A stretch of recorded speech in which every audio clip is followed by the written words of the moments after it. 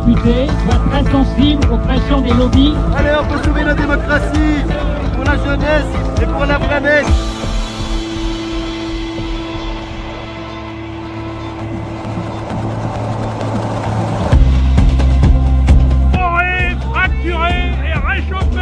We have to start building a trade system that really works for people and for the environment.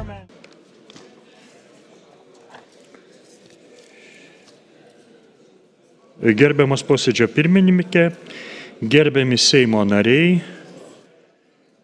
apsvarstė komitetas ES bei jos valstybių narių ir Kanados strateginės partnerystės susitarimo ratifikavimo projektą. Komitete balsavimo rezultatai už šeši, prieš ir susilaikiusių nėra. Taip pat komitetas apsvarstė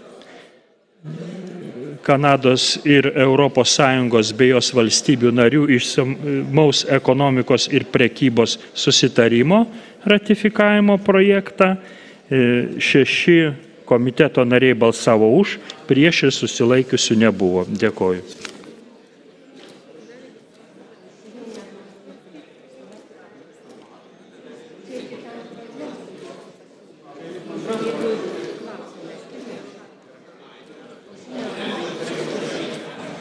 Diskusija užsirašė Aušinė Armonaitė, kviečiu.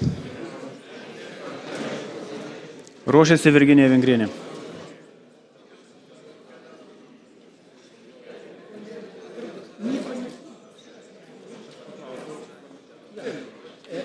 Sveiki, gerbiami kolegos, nepraėjo nei 11 mėnesių, e, čia ironija, ir grįžame prie e, labai svarbaus Lietuvai, ES, Kanadai ir apskritai transatlantiniai partnerystiai labai svarbaus e, susitarimo. Visų pirma, man atrodo, prieš įvertinant ekonominį aspektą yra labai svarbu įvertinti ir geopolitinį aspektą. Manau, kad visi suprantame, kuo daugiau glaudesnių ekonominių ir politinių ryšių su Kanada, JAV, kitais partneriais vakaruose, tuo mažiau rytų despotijos čia mūsų krašte Lietuvoje. Kanada visada buvo labai na, aktyvi Lietuvos euroatlantinės integracijos advokatė. Kanada iki šiol yra labai aktyvi mūsų regione. Jos kariai saugo Baltijos krantus ir tai, man atrodo, yra labai svarbus dalykas ir mes žinoma esame labai jiems už tai dėkingi. Kalbant apie priekybą ir kalbant apie ekonominius argumentus, akivaizdu, kad šis susitarimas sukuria daugiau galimybių Lietuvos verslui, daugiau galimybių, na, pačiai Lietuvai. Šis susitarimas atveria didelę ir didelę perkamąją galę pasižyminčią Kanados rinką. Ir šiuo metu mūsų eksportuotojai, kurie eksportuoja į Kanadą, jų yra 8, iš jų 80 procentų yra mažos ir vidutinės įmonės. Ir tai reiškia, jog na, smulkiam verslui, nedideliam verslui ši rinka yra labai svarbi ir aš net nebejoju, kad dar daugiau įmonių ryšys eksportuoti į Kanadą. Tai taip pat yra labai svarbi alternatyvi rinka mūsų eksportuotojams, nes mes žinome, kad dabar vykstant tam tikriems priekybos na, apribojimams su kitomis mūsų kaiminėmis rinkomis, mūsų verslui reikia daugiau alternatyvių rinkų. Daugiau galimybių ne tik eksportui, bet daugiau galimybių ir investicijoms. Šis susitarimas apsaugo užsienio investicijas, jis na, atveria kelią tam, jog teisinė sistema būtų labiau prognozuojama, būtų aiškesnė na, ir tuo pat metu draugiškesnė investicijoms. Man atrodo, mes visi sutarėme, kad gerai apmokamas darbo vietas ir tam tikrą darbo kultūrą, vakarietišką darbo kultūrą gali atnešti Kanados įmonės Lietuvoje ir šis susitarimas tai taip pat na, sukuria. Dabar Įvardėjau geopolitinį ir du ekonominius argumentus, kodėl reikia palaikyti šią sutartį, labai trumpai apie grėsmės. Šis susitarimas ir visi, kurie skaitėte šį susitarimą, nepakeičia jokių ES galiojančių maisto saugos reikalavimų, vartotojų apsaugos reikalavimų ar kitų na, reguliavimų. Jis nepakeičia GMO reguliavimo ir su panašiai susijusių dalykų. Todėl aš iš tikrųjų nesuprantu, kodėl reikėjo e, mano kolegoms registruoti tuos e, nutarimus ar pakeitimus, nes iš esmės, na, tai neturi įtakos, e, šis sutartis neturi įtakos galiojančiai ES tvarkai. Na, dar vienas e, matyt dalykas e, vis dėlto apie kitų šalių pareiškimus, kuriuos kai kurios padarė ratifikuojant sutartį. Jų buvo berots dvi - Lenkija ir Slovenija, kurios padarė pareiškimus ES taryboje protokoliniu nutarimu. Tai buvo politiniai pareiškimai ratifikuojant sutartį. Taigi aš nematau, e, na, jokių argumentų, kodėl mes turėtume registruoti įvairius nutarimus, keisti sutarties tekstą ir taip stabdyti sutarties galiojimą, jeigu na, mūsų partneriai, mūsų kolegos e, žino tas, tą formą, kurią reikia padaryti politinį pareiškimą ir ją naudojasi. Naudokime ir mes, na, nenuskambėkime garsiau už Valoniją, būkime tie, kurie e, yra didžiausi Euroatlantinės partnerystės advokatai, o ne tie, kurie kaišėja pagalius tam į ratus. Kviečiu palaikyti. Kviečiu Seimo narę Virginę Vingrienę, ruošiasi Dainius Kreivys.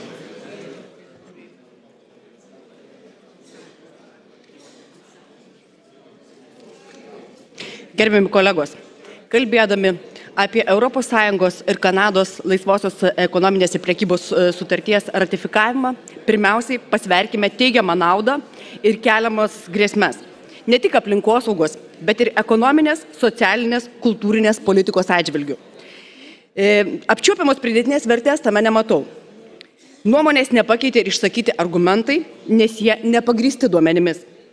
Kova su neligiavertės svorio kategorijos varžovais gali būti pražutinga bet kam, nes rinkos apsaugos mechanizmų pašalinimas galima savižudybė smulkaus verslo darbo vietų kūrimo atžvilgiu. Grėsmingą posūkį patirs ir su emigracija susiję procesai, o mums gyvybiškai svarbu apginti mažą savo rinką, o šią funkciją leido mums atlikti tarifiniai ir netarifiniai barjerai. Net Junktinės Amerikos valstijos suprato, e, globalių susitarimų grėsmę ir saugodamos savo rinką traukėsi nuo transatlantinės e, sutarties. Kritiškai CETA vertina ir kitos ES šalis. E, Prancūzijoje ir kitose šalyse kreiptas į konstitucinį teismą įvertinimą, o Olandija ketina renkti referendumą. O mes atsakykime, ar pigesnės prekės vardan e, esam, leisime sumenkinti pasauliniu mastu aukščiausius aplinkos sauginius, kokybės, e, saugos standartus Nepamirškime, ką tik nuskambėjusio skandalo ES viduje dėl skirtingos receptūros ir kokybės produktų. Dėl to atkreipiame dėmesį, skambiname pavojaus varpais, kūrėme specialiasias komisijas, o eilinį kartą nepasimokome ir kišame galvą į giliuotiną. CETA laikomas ir nešvariausio aplinkos sauginių susitarimu. Atkreipkime dėmesį, kad joje nekalbama nei apie iškastinio kūro atsisakymą, nei apie atsinaujinančių energijos šaltinių naudojimą, nei klimato kaitos proceso stabdymą. Tuo tarpu Kanados vyriausybė sėkmingai pasinaudojo dėrybomis atverti kelius nešvariausio pasaulyje kūro, bitumingojo smėlio naftos importui į ES. Tai nėra paradoksalu, jeigu suvoksime, kad galima priimti sprendimus įsigilinus, o galima apleisti sritis pasiduodant spaudimui. CETA įtvirtins praktiką aplinkosaugos priemonės e, skūsti arbitražo teismui kaip neteisėtas kliūtis prekybai. O dėl investicijų apsaugos bet kokios nacionalinės reformos taps pernelyg brangios, nes nacionalinė valdžia turės tiesioginę prasme susimokėti už savo sprendimus. Juk susitarimus teigiamos naujos virš nacionalinės, virš europinės institucijos turėsiančios aukščiausią arbitražo galę vertinti ir atmesti nacionalinius bei europinius teisės aktus netitinkančios investuotojų interesų ar reikalauti didelių finansinių kompensacijų už neišpildytus verslo lūkesčius. Ar esame pasiruošę mokėti tokią kainą? Taip pat atkreipiu dėmesį ir, ir klausiu, kaip įgyvendinsime žiedinės ekonomikos principą Susitarimas akivaizdžiai prieštarauja šio pažangaus kelio siekiui, kurio vienas esminių elementų yra uždaro ciklo gamyba, kelianti aukščiausius standartus produktų žaliavai, gamybai, atnaujinimui, kokybės gerinimui. O vienas principinių uždaro ciklo ekonomikos tikslų - atverti kelius kūrybiškumo proveržiui, naujiems verslams, darnaus, tausaus, aplinkai draugiško vartojimo plėtrai, prioritetą teikiant aukštai kokybei, o ne pigiems produktams, kuriuos gaminant nukenčia kokybė, aplinkosauga, teisingo atlygio už darbą sistema. Žinoma, suprantu rinkos mūsų produkcijai paieškos svarbą, tačiau dėl naujų realizavimo galimybių privalome nenusipiginti o mažų mažiausiai išsireikalauti savo naudingų sąlygų, dabar taptume sveikų aukštos kokybės maisto produktų eksportuotojais, o savo vartotojams tiektume tik tai, kas toli gražu netitinka šioje veiklos rytyje keliamų standartų. Arba mokėsime už tai pernelyg brangiai. Kolegos, žvelgime plačiau ir turime įvertinti ne vien genetiškai modifikuotų organizmų ar hormoninės mėsos klausimą, bet platų spektrą veiksnių nukreiptų į rinkos apsaugos barjerų naikinimą, siekiant užkirsti kelią ne vien naujų vietinių produktų gamybai, bet ir smulkaus verslo, darbo vietų kūrimui, o šie faktoriai gyvybiškai svarbus mūsų šalies ekonominiam augimui, ypač velgiant iš regionų perspektyvos, kurie dėl šios sutarties nukentės labiausiai. Manau, pirmiausia, turime elgtis oriai ir atstovaudami kiekvieną savo piliečiams žvelgti toleregiškai, o ne vadovautis vien nūdienos perspektyvomis. Tad būdama žalioji ir prisimdama visą atsakomybę už savo sprendimus ateities kartoms, negaliu lengvabūdiškai palaikyti globalizacijos procesus spartinančio sprendimo, pavojingiausio mažoms valstybėms, todėl lieku ištikima aplinkosauginiams vertybėms ir raginu kolegas taip pat, paisant socialinių idealų, nepasiduoti primityviam laisvosios pasaulinės rinkos euforijai ir balsuoti prieš šios akivaizdžiai visuomeniai bendraja prasme rizikingos sutarties ratifikavimą. Kalbės Seimo narys Dainius Kreivys, ruošės Ervidas Anušauskas.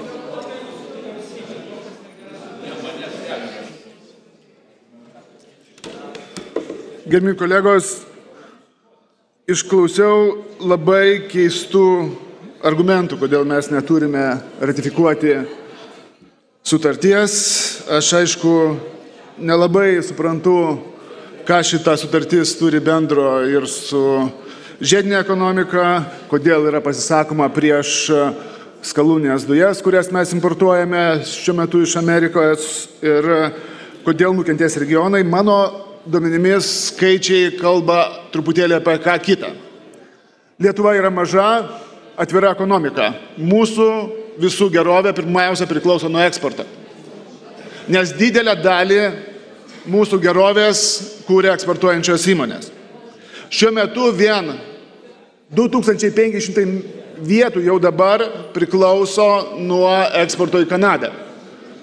Atsidariusios galimybės sumažėję muitai atvers didžiulės galimybės pirmiausia mūsų baldų ir maisto pramonį, kurios yra stipriausios. Yra paskaičiuota preliminariai, kad vien pagal dabartinės eksporto apimtis mūsų eksportuotojai sutaupys apie milijoną eurų. Bet kalba eina ne tik apie sutaupimą, kalba eina apie tai, kad bemūtė priekyba leis konkurencingesnėmis kainomis įeiti į rinką. 99 procentai visų muitų bus, bus panaikinta. Taip pat e, noriu pabrėžti, kad e, CETA kaip sutarimas nekeičia nieko, kas iš esmės keltų grėsmę ES taikomos, taikomos aplinkos apsaugos, visuomenės veikatos, maisto saugos, vartotojų, darbo apsaugos ir kitus ryčių lygiui. CETA aiškiai patvirtina, kad ES galiojantys standartai nebus keičiami O tų standartų netitinkantis produktai, dar kartą noriu pabrėžti, tų standartų netitinkantis produktai, tame tarp ir GMO, iš Kanados niekada negalės patekti į ES rinką. Taip pat CETA išlaikys ES ir jos valstybių narių teisę reguliuoti ir priimti teisės aktus užtikrančius viešai sustarimo šalių interesą. Taigi nieko nėra, kas galėtų bent mažiausiai pakengti mūsų interesams ir maisto bei aplinkos sauginiams standartams. Taip pat noriu pabrėžti, kad atsidaro kartu visai pilnai mums Kanados paslaugų rinka, mūsų informacinių technologijų kompanijoms.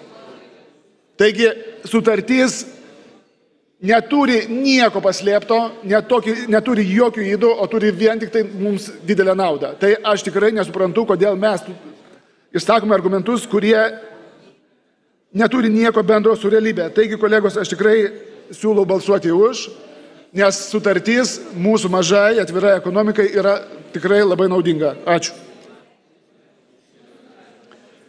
Kviečiu Seimo narį Arvidą Nušauską, ruošiasi Tomas Tomilinas.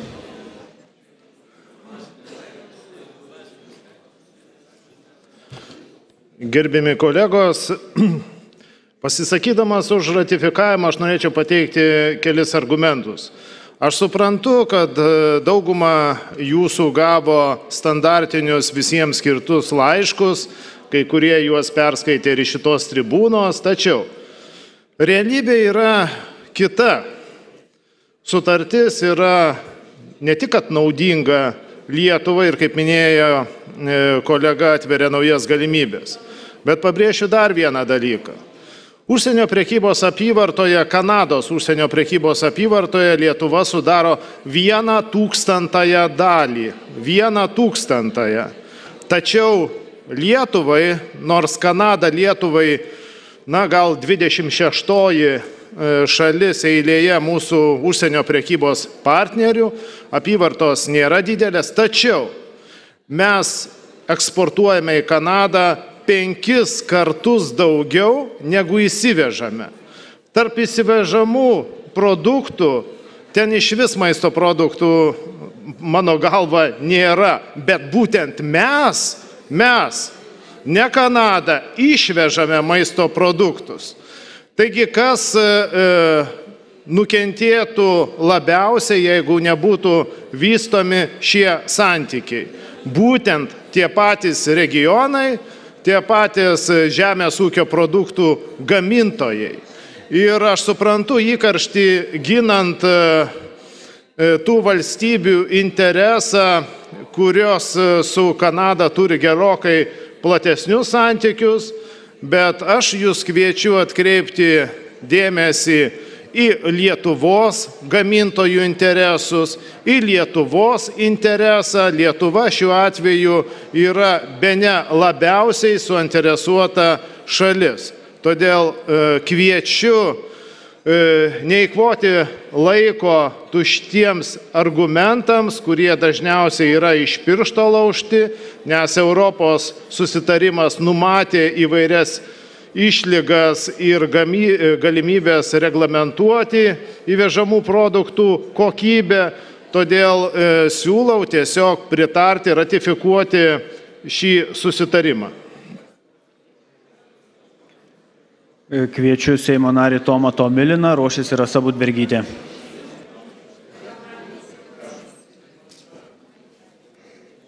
Gerbimi kolegos, svarstant šį klausimą egzistuoja du argumentų poliai, dvi argumentų grupės. Iš, žvelgiant iš geopolitinio taško, žinoma, mes turim pasakyti taip CETai, tai yra signalas mūsų partneriams, tai yra signalas mūsų E, kaimynams grėsmingiams, kad mes už transatlantinius ryšius, kad mes už stabilumą mūsų geopolitinės krypties. Tačiau, kalbant apie geopolitiką, norisi užduoti klausimą, tai kodėl JAV piliečiai, JAV, mūsų svarbiausios sąjungininkės, balsavo už protekcionizmą, už tarptautinių sutarčių nutraukimą, ką mes matėm su TTIPu. Kodėl jie balsavo už Trumpą? Gal didėjanti pajamų neligybė neramina, gal šio laikinio kapitalizmo veikimas neramina. O dabar grįžtam, perinam nuo geopolitinių argumentų prie ekonominių, socioekonominių. Ir aš tik norėčiau, kad mes būtume sąžininkai iki galo, kad mes klausytume ne tik diplomatų, kuriuos labai gerbiu ir jų nuomonė suprantama, jie yra tarptautinės bendruomenės diplomatų nariai dalis, jie argumentuoja, gerbiu tą nuomonę. Tačiau faktus, faktus turi žinoti Seimas, mes turim būti atviri, kad privatus teismai stiprinami šitą sutartim ir leidžia išvengti nacionalinės valstybės teisėkuros, kad viešos paslaugos tampa atviresnės, vis labiau atviresnės, tarptautiniai globaliai konkurencijai. Aš kalbu ne prekes, kalbu apie paslaugas, kad didėja spaudimas mums keisti biotehnologijų taisyklės. Aš kalbu apie tai, kad didėja spaudimas tokiom sutartim. Ne kad mes iš karto nuo rytojus pradėsime valgyti, kaip ten kažkas bando piešti e, GMO ar kažką panašaus, bet kad didėja spaudimas mūsų galimybėms atsiriboti, mums, mūsų galimybėms reguliuoti savo maisto rinkas. Kad mažinamas galimybės vietos, vietinės produkcijos pozityviai diskriminacijai. Ir dabar keli faktai. Visai neseniai Niderlandų tarptautinė korporacija Achmeja padavė į teismą a, Slovakiją ir prisiteisė 22 milijonus už tai, kad Slovakija nutarė nutraukti savo medicinos sektoriaus liberalizavimą. Šią bylą išsprendė Europos teisingumo teismas, kuris pasakė, kad investicijų apsauga galimai iš dalies, aš nesu labai gilus ekspertas, prieštarauja Europos teisėjai. Dar norėčiau jūs sugražinti į metus atgal. Europos parlamento užimtumo ir socialinių reikalų komitetas, užsakęs ar atlikęs tyrimą dėl CETO poveikio ekonomikai, konstatavo, kad Europai bus prarasta daugiau negu 200 tūkstančių darbo vietų smulkaus ir smulkiam ir vidutiniam versle.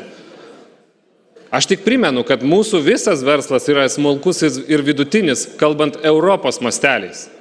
Tai aš cituoju, parlamento komitetas konstatavo, socialinių reikalų, beje, aš irgi iš socialinių reikalų komiteto ir aš negaliu nekalbėti apie grėsmės, socialinės grėsmės, kad darbo vietos bus prarastos, o nesukurtos. Tai aš čia matau tam tikrą prieštaravimą. Ir pabaigai aš pasakysiu, aš esu Europos entuziastas, federalistas, galima sakyti, aš palaikau didesnį Europos vaidmenį mūsų gyvenime ir perdavimą tam tikrų kompetencijų didesnį Europos Sąjungai. Tačiau šiandien dėja mes Europai turim labai trapę demokratiją, silpnėjantį Briuselį, silpnėjančias demokratinės institucijas ir nesukūrė stiprių demokratinių mechanizmų, nesukūrė europinių partijų, tokių, kur, kur kiekvienas mūsų žmogus pasitikėtų jomis, mes atiduodam dalį savo suvereniteto privatiems teismams. Deja, šiandien stipresnio, gilesnio ir efektyvesnio instrumento kaip nacionalinė valstybė neegzistuoja, ginant smulkaus verslo, eilinių darbuotojų, viešojo sektoriaus darbuotojų, viešojo sektoriaus paslaugų gavėjų interesus. Tik nacionalinė valstybė yra tikras gynėjas šiandienos globaliam pasauliui. Jeigu norėtume, kad tokios sutartys įsigaliotų, mes turėtume pirmiausia sustiprinti demokratinės institucijas Briuselį, mūsų pasitikėjimo tom institucijom ir tada, žinoma, tokios sutartys turi prasme. Ačiū. Ir kalbės Seimo narė Rasa Budbergytė.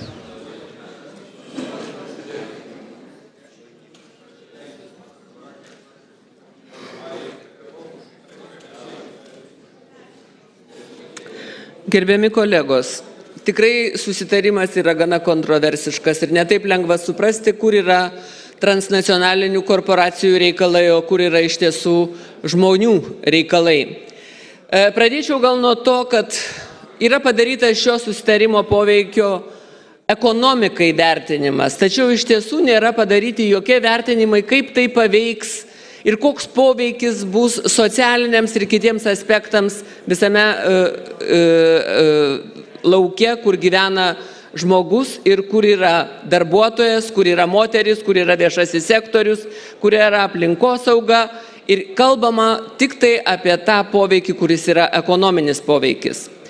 E, tuo tarpu mes susidurėme su situacija, kad šiandien dieną gyvename vis labiau ir labiau rinkoje, kur globalizacijos tie tempai yra labai dideli ir ta globalizacija yra nereguliuojama, todėl nepaprastai paveikia darbuotojų, žmonių, kitaip tariant, interesus. E, tikrai suprantu, kad ekonomika yra labai svarbus dalykas. Be jos augimo iš tiesų nėra ir darbo vietų, ir nėra e, galimybių, sakykime, finansuoti socialinę apsaugą. Tačiau, tačiau vis dėlto norėčiau tikrai atkreipti dėmesį ir prieš tai kalbėjo ir mano kolega Tomas Tomilinas apie tai, kad mes gyvename mažoje rinkoje, kur tos smulkios vidutinės įmonės, mažos, yra e, iš tiesų veikiančios daugiau vidaus rinkoje. Ir visai nėra svarbu, kaip ten pateks jos ar nepateks į tą Kanados rinką, nes joms praktiškai nėra galimybių ten patekti. Mes dar nesame sukūrę nei prielaidų, nei padarę didelio darbo, e, kurio pasiekoje jos galėtų tikrai, sakykime, eksportuoti savo produktus ir prekes.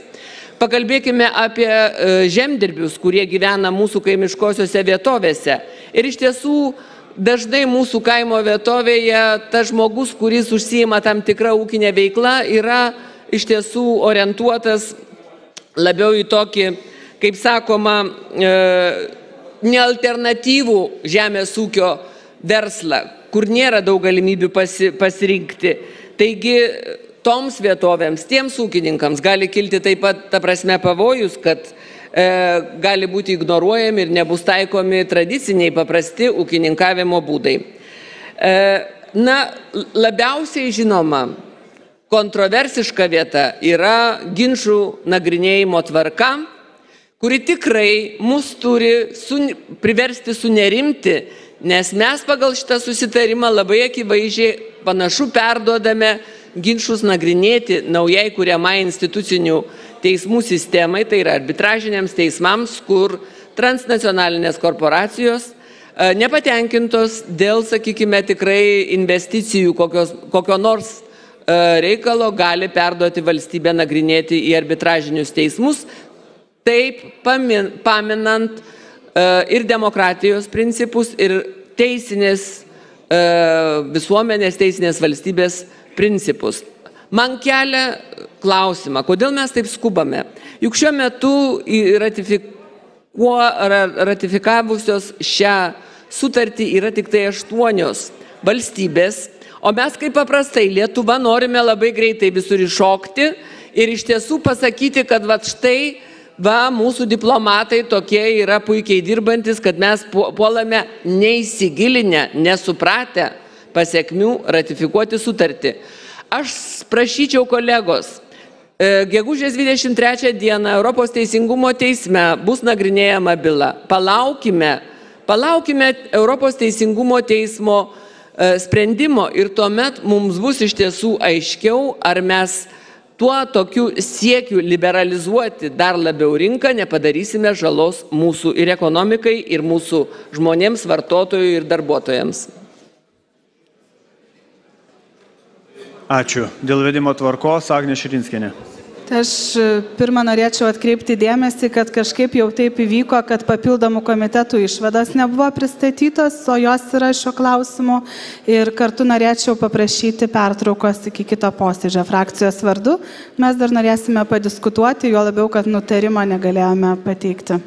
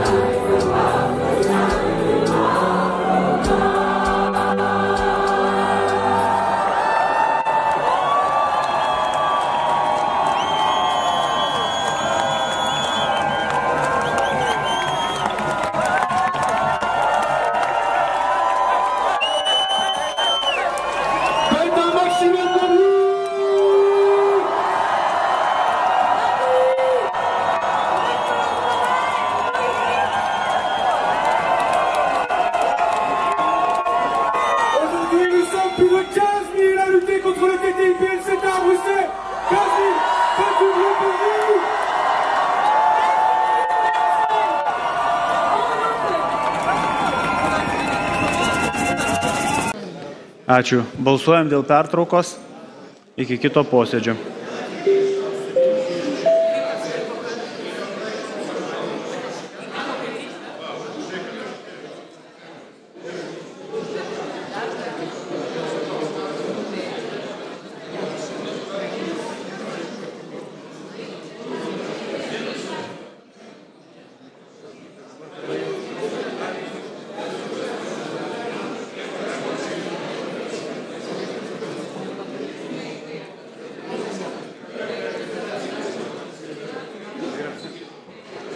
Balsavo 109 Seimo nariai, už 71 prieš 34 susilaikė 4, pertraukai pritarta.